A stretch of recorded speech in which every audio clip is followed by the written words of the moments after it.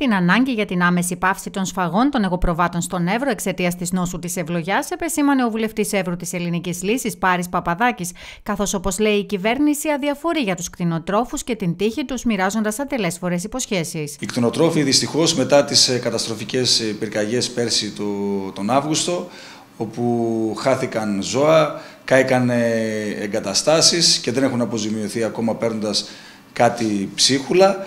Ε, ήρθε το τελειωτικό χτύπημα με, τις, με τη ζωονόσο, όπου στην ουσία φέρνει τον αφανισμό των ε, ζώων και οι κτηνοτρόφοι φυσικά θα οδηγηθούν στην ανεργία και δεν θα μπορούν να βιοποριστούν. Ε, και λέω ότι η κυβέρνηση τρέχει πίσω από τις εξελίξεις, διότι φτάσαμε τώρα στο και ένα και ακόμα μιλούμε το πώς θα αντιμετωπιστεί το πρόβλημα αυτό.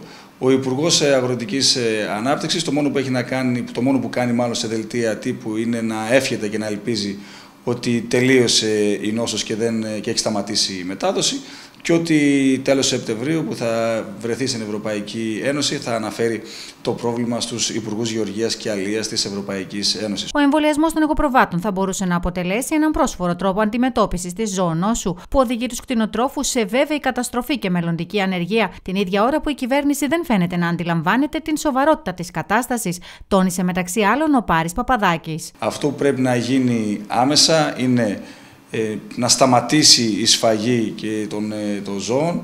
Έχουμε φτάσει να έχουν ε, σφάξει γύρω στα 30.000 ζώα και αυτό διότι δεν εμβολιάζουν τα ζώα έτσι ώστε να σταματήσει η μετάδοση της νόσου. Βλέπουμε ότι η κυβέρνηση διστάζει να το κάνει. Η κτηνιατρική υπηρεσία είναι υποστελεχωμένη, δεν υπάρχουν τα αγροτικά κτηνιατρία τα οποία κλείνουν.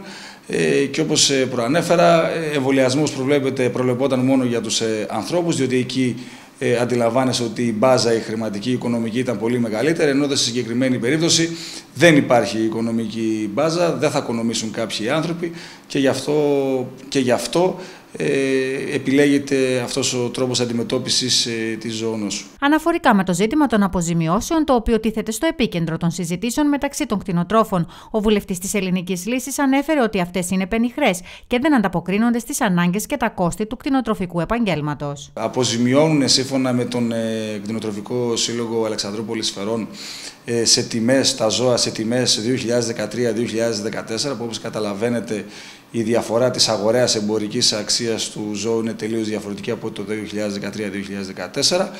Το κόστος εκτροφής ε, ζώων είναι πολύ μεγαλύτερο. Παρ' όλα αυτά, αυτοί θα αποζημιώσουν με τιμές 2013-2014, που φυσικά δεν έχει καμία βάση λογικής. Επίσης, αποφασίζει το Υπουργείο Αγροτικής ε, Ανάπτυξης να ε, υποχρεώνει το σταυλισμό των πέριξ ε, κτηνοτροφικών εγκαταστάσεων που επλήγησαν από τον ε, νόσο στα 3 χιλιόμετρα, όπου σε αναγκάζει να έχεις μέσα τα ζώα σου, αλλά από την άλλη δεν σου καλύπτει και δεν αποζημιώνει την ε, εκτροφή και το κόστος εκτροφής των ζώων και έτσι αναγκάζεται ο κτηνοτρόφος να τα βάλει από τη τσέπη του.